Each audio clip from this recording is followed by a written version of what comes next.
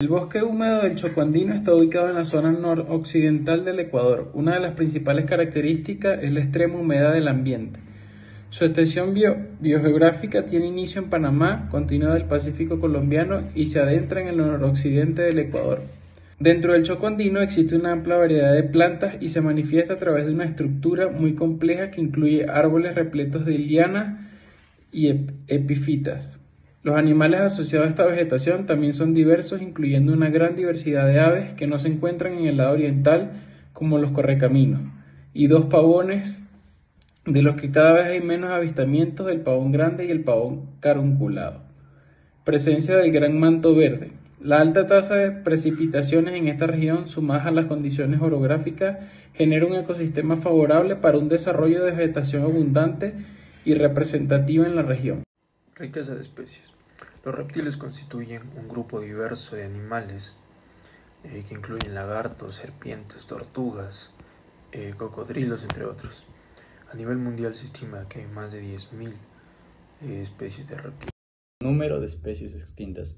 Aunque las cifras pueden variar, varias especies de reptiles han enfrentado diversas amenazas y algunas han sido declaradas extintas.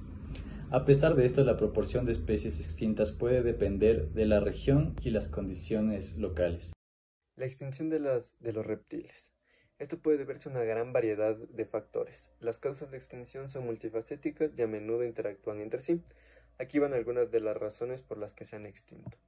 Puede ser por la pérdida del hábitat, por la contaminación, por el cambio climático, por la introducción de especies exóticas, por la sobreexplotación, por enfermedades o por factores genéticos.